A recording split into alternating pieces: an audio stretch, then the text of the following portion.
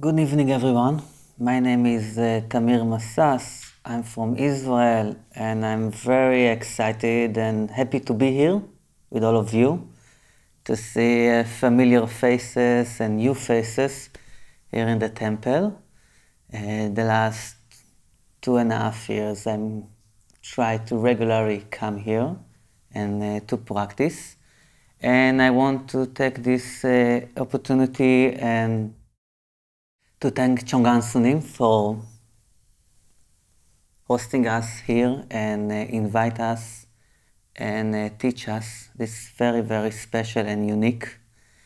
Um, I always said that there is like four kinds of temple, different temple, and we are all seeker. So we look for different temples or we look for something. This is why we come here. In the east, there is like four kinds different temple. The first kind mean you come to this temple and there is no food, no teaching. If you arrive in this kind of temple, you must run away. It's like a cemetery. You will die over there. The second kind of temple, you come to that temple and there isn't much food, but there is a good teaching. So try the best you can. Try to stay as much as you can because it's very rare to get a clear teaching in our world. The third kind that you're looking for, different temples or different teaching, you arrive in a temple that there is food, we say, but no teaching. This is like kind of hotel, good hotel. Maybe you stay one night. The day after, say thank you very much, then continue look for a different place. Don't stay over there. The fourth kind, it's very important because there is food, also there is very clear teaching.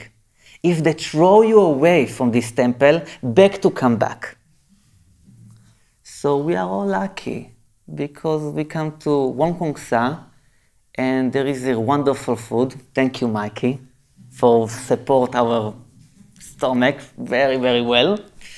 And we have a wonderful teaching. Thank you, Chong An Sunim, Zen Master, and Doc Esonim for this wonderful teaching.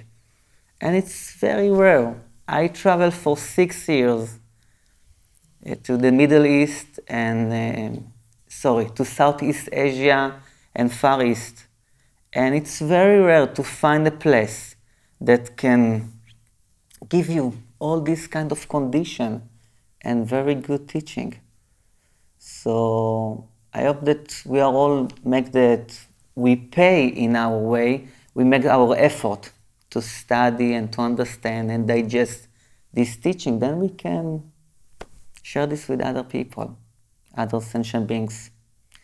So I welcome your question. Please ask question. There is no good question or correct question. There is a question. So feel like to ask any question you like, please. How shall I do? Uh, de- how shall I deal with all the pain I have during sitting? Because uh, I'm practicing the question, "What is this?" and uh, a lot of the time during the practice, I'm not dealing with the question. I'm dealing with the pain in my body. So, what shall I do? Okay. Yeah. You're not unique in that. Human body equal pain. You cannot escape that. Nobody can escape that. Even uh, older monks, older nuns, we are all feel pain. Physical pain. Also have some emotional pain and many different kinds of pain, okay? So we all experience that during the sitting, walking, bowing, sometimes chanting. We feel pain, maybe in our knees, our back, our head, and many other parts in our body. The most important when you practice, okay, so be clear about the pain. Perceive your pain. Don't try to check your pain don't tell yourself, for example, I shouldn't have this pen. I'm sitting already two, three years. I, be, I need to be more flexible. Once you start to check your pain, the pain will grow and grow and grow. Then all your 50 minutes sitting will be thinking about this pain. So if you perceive clearly your pain, then you can see can I handle it and just return to the practice and observe it? Okay, be with it. Oh, I have to change a position. Once you decide to change a posi- position, don't check yourself. One of the teachers that I really like always suggests that when even you change your position, do it mindfully. Don't lose the mind at practice. So sometimes the body gets pain. Just perceive it. Don't attach to it, don't check it, don't compare. We come here twice a year, our Israeli group, this wonderful group, yeah. So sometimes you compare oh, last time I didn't have so much pain. Why this time I have a lot of pain? I thought I'm making any, any kind of progress. Why I'm dealing this, with this again? Doesn't matter. Just perceive. Can I handle it? Or I need to change a position. Once you decide, don't check yourself. Just do it. And we are practice together, so try to do it quietly as much as you can. Thank you. Thank you. Do you think there is an end of suffering? End to the suffering? I have to say that I don't know. I'm still suffering. But we teach something very important. We teach to come back to this point. So if you come back to this point, you can only perceive your suffering then not much indulge with it, not much fight with it. Then the second thing that's more important is to perceive the cause of your suffer. How do you make yourself suffer? I think this is very important. Not all the time I can see that I make my own suffer. But once I can see it, I wake up. Because usually when I don't see that I make my own suffer, I make myself angry, I make my own fear, etc., etc. So I accuse and I blame other people with that. So our practice is very important. You sit and there is 50 minutes and sometimes lots of anger come up. You know what I'm talking about, huh? Yeah. and you cannot move. You cannot go outside the room. You have to digest it. Not processing in your mind, I mean, not think about it. Just to be with it, just to perceive it, just experience that. Then you can see it's come from a certain cause. It's there for sometimes, then it disappears. It teaches you something very important. The law of impermanence, we say. It's come, stay, and then disappear. Then you think about that again, then it's again arise, stay for some time, then again disappear. Most of us need to, need to think about that, or sorry, need to explain that again and again and again and again until we can just put down. Don't touch it. Actually, give up. Don't indulge with it. Don't check that. At that moment, for maybe a short time, you experience the end of suffering until the next thoughts that appear. So we all fall down sometimes. I think the best question is to ask how fast do you get stand up? How fast you return to yourself? How fast you return to your breath, to your body, to your clear mind? I don't know another way to stop this suffering. About shortening the suffer, I don't know what does it mean actually. Thank you. Thank you. I'm also wondering about raising a family and specifically kids in the way of Zen. I mean, from your experience, how is it to raise kids with teaching of Zen, the Dharma? Don't get to ask many monks that. Do you have kids? No, I do not. So why we are talking about kids now? I don't know. You want to raise kids? At some point. Okay. I have three boys and I still don't know how to raise them. I have no specific, you know, rules. You should do that and later you do that and they always teach me.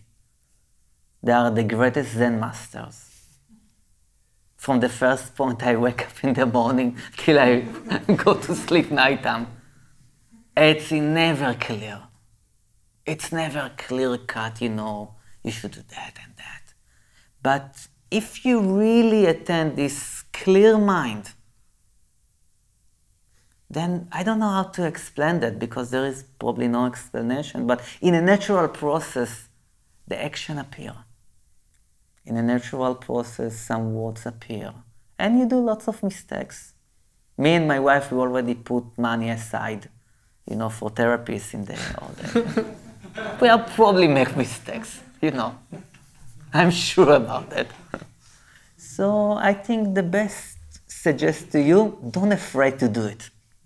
If you want to do it, do it 100% from all your heart. Then they experience that.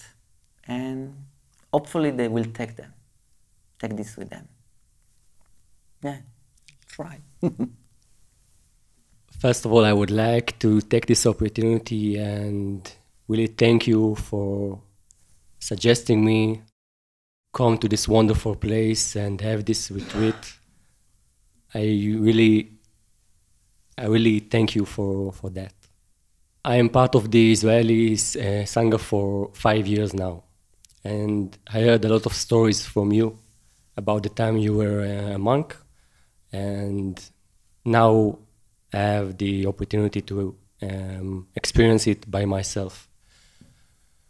And finally, I understand you. I understand why you stayed for so long in South Korea and why you became a monk. But it's it's very interesting for me to to ask about two important points in your life: the moment you decided to become a monk, and the moment you decided to become a layman again. You want to become a monk? A layman. Excuse me? You want to become I thought about a monk? you should talk with Zen Master Chong An Sunim about that. Okay, I will tell you about my two decision. Okay, the first decision was to become a monk. I came first time to South Korea uh, uh, at, in May '98. Chong An Sunim was the head monk. He was rule all the room, kept clear mind. I was only 22 years old. And in a few days, I fall in love. I remember that I walk, even one, one year later, I still walk around with the feeling I found heaven. There is a heaven in this world. I can't explain this feeling.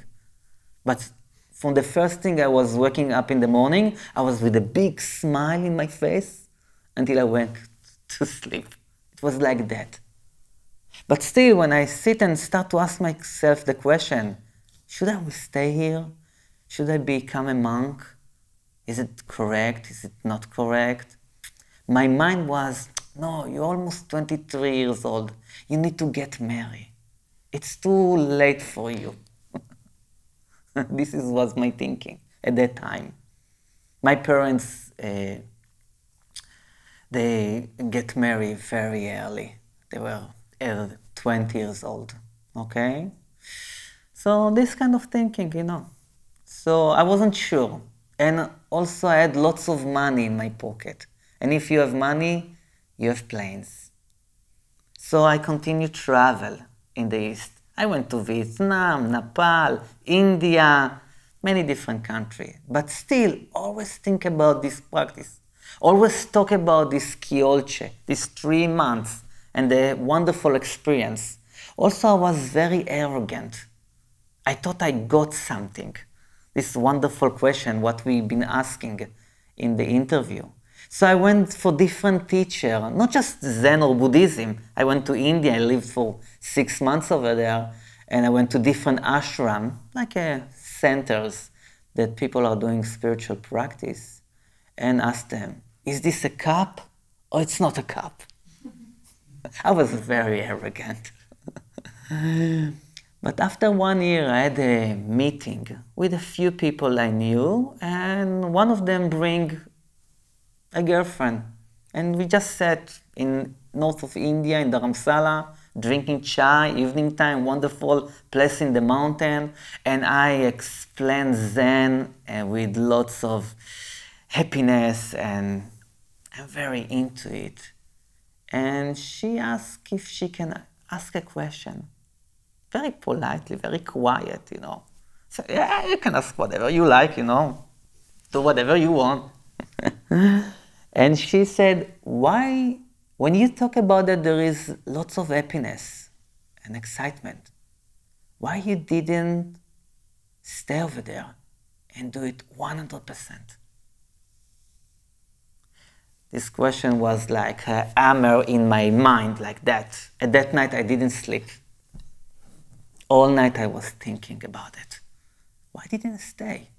I saw I have a, like a habit that I come to a good place I don't stay. I continue look for another place. You know, it's kind of a, a habit that you are that I always run from one place to another place to another place to another. Maybe the other place will be better. I always, I always, I always want to be over there, not to stay.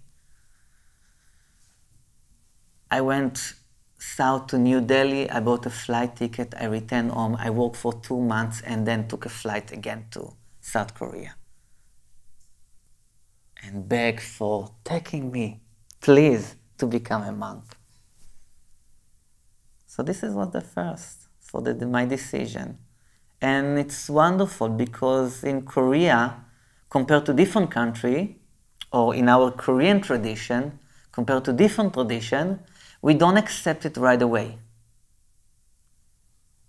We let you work for that. I did one year Hengja training. Hengja mean hang, action, ja love. I was like with brown clothes and only cleaning, washing, do this stuff for one year. Then after one year, if you still want to stay as a monk, then you take the precepts and you become a monk. To be a monk was the best place and the best situation for this wonderful practice to do that. Look, the temple give you everything. It's really amazing. You know, Zen Master Seung Sahn always that uh, monks and nuns, they are already a millionaire. They have four million dollar. The first million, it's food. You will get food all your life. It's worth million dollar? Yeah, it is. The second million, it's you get medical all your life. Doesn't matter whatever your body will need. Some people, some wonderful bosanim donor, donors, they will give you, they will serve you.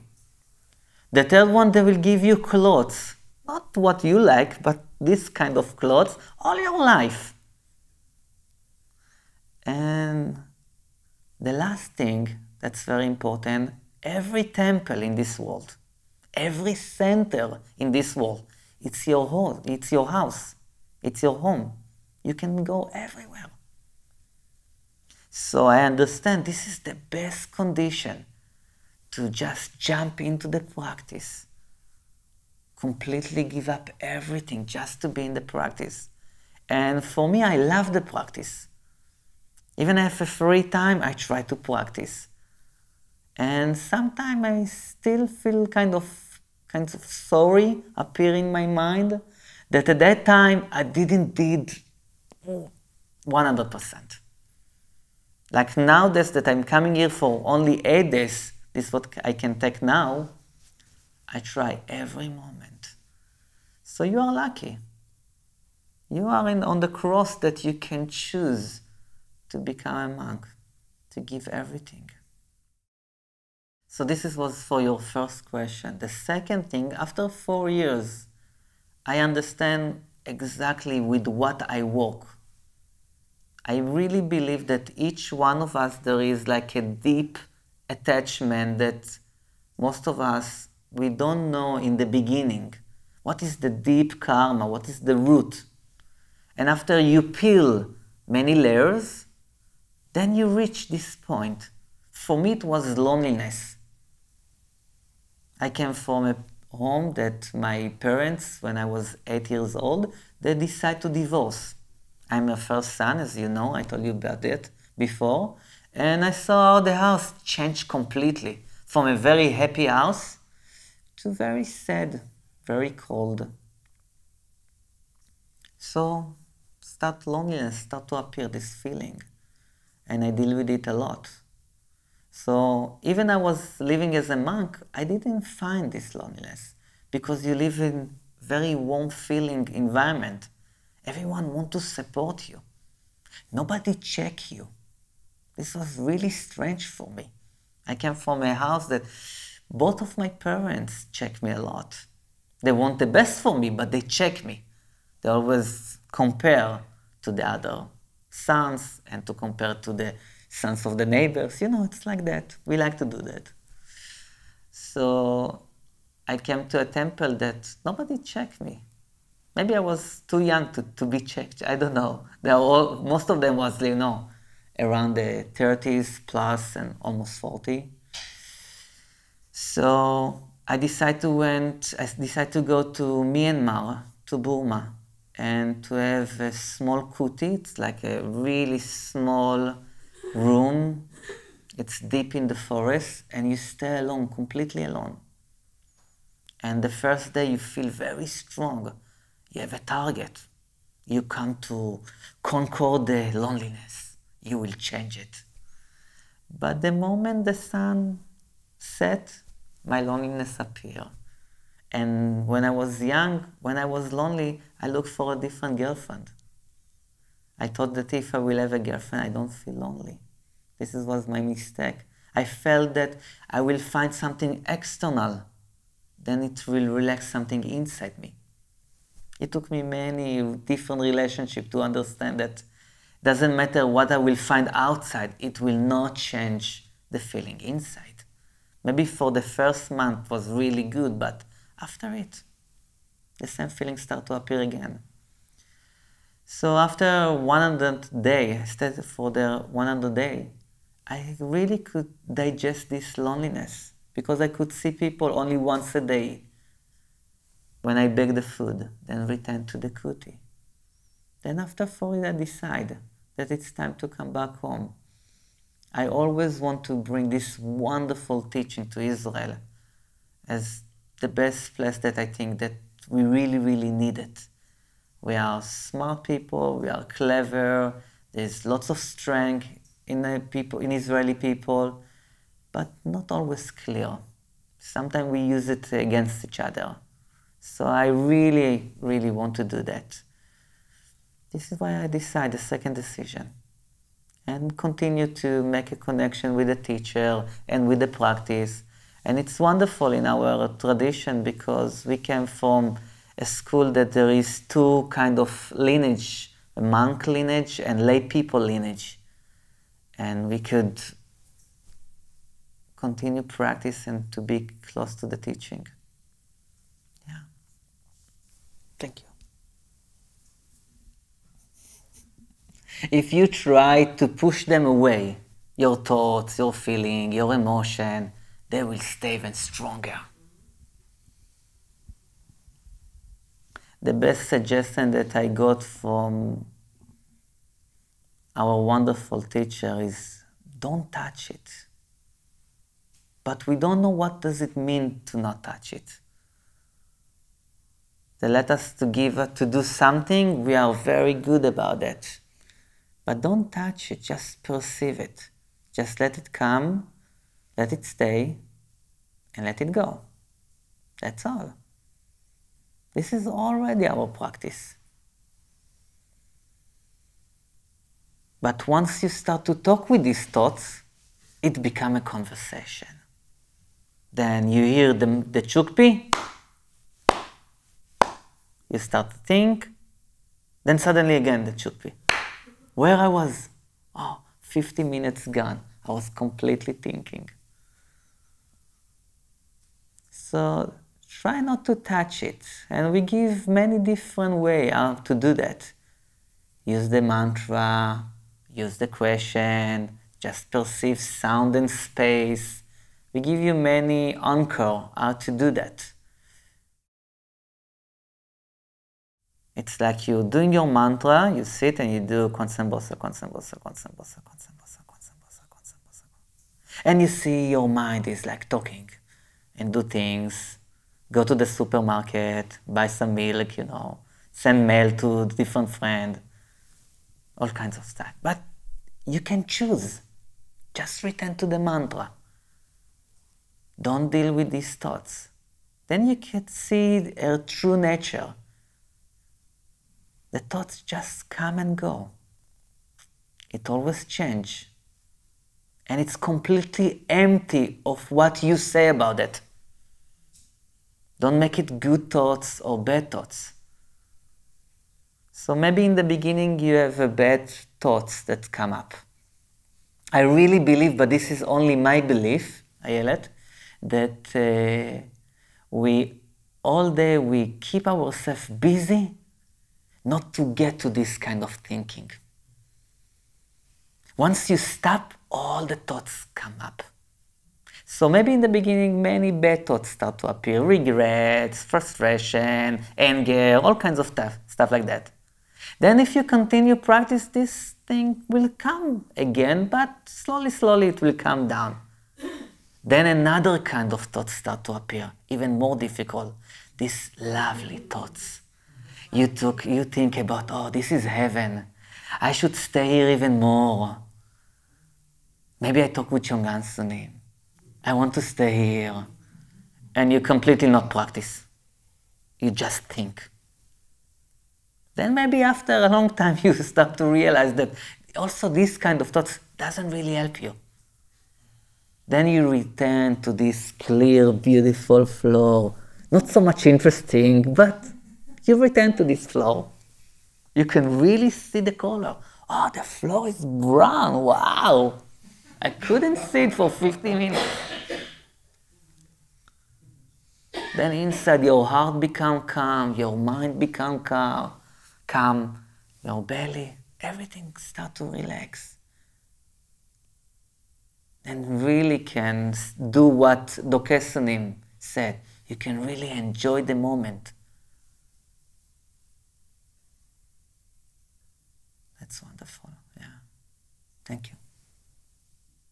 I want to thank you all for your question and to come here and do this wonderful practice. That's uh, for me. It's very important. I can't really express how deep and how important this wonderful practice. I guess only when you get far from here and you deal with lots of problems in your life then you remember, wow, this wonderful pressure moment that I could sit and just, just breathe. Nobody asked me to do anything special. I don't need to give any special answer. I could just relax. So it's really, really wonderful. And I want to encourage all of you to do this wonderful practice, not just for yourself, Take what you are gain here, what you experience here, what you develop here, and take it to your family. Take it to your friends. Take it to your neighbors. Make a big waves. How can we can make each other really happy and nothing really special, but we can be in harmony. And this is one wonderful thing. Thank you all.